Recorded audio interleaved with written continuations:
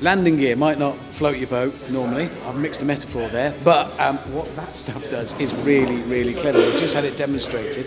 I won't tell you now, you'll see it in the show, but it is one of those really clever thoughts that means, oh, that makes a huge difference.